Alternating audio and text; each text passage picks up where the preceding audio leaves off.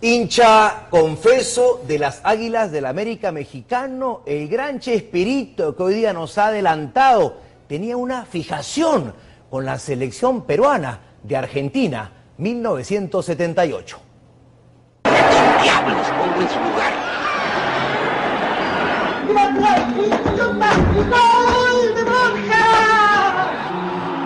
¡Chanfle! ¡Ponte a calentar! Este es el tanto más celebrado en el mundo, pues llevó la pasión de los niños a las pantallas de televisión.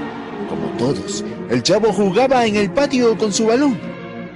Argentina, Perú. 6-0 favor Argentina. Qué partidazo, ¿eh? Se los de Perú. Ay, no. Así se... Y hasta quizás, a la espera de la pelota cuadrada. Que, que yo era portero, que yo era el portero de Perú. ¡Sas! No, no. Mejor el portero de Italia. Además, hincha acérrimo de la América.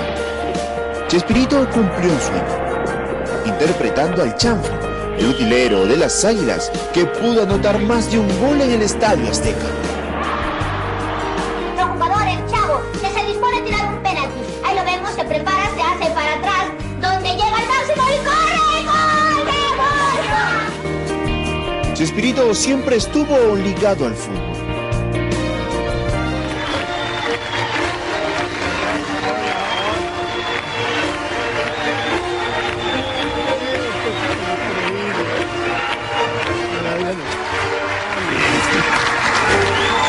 Usted es mi ídolo, maestro.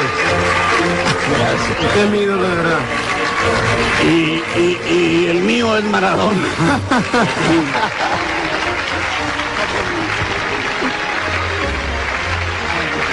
Gracias, Roberto. ¿Cómo le digo, Roberto o Chavo? Es igual. Muchos futbolistas, como Neymar y Ronaldinho, tuvieron muestras de afecto en las redes sociales. De tantos, como es el caso de Jordi Reina, que hizo de su garrotera un sello. No te vayas, chavo. Roberto Gómez Bolaños nos dijo adiós a los 85 años, pero su legado será eterno, en la vida y en el fútbol. El chavo solo se despide hasta un próximo capítulo.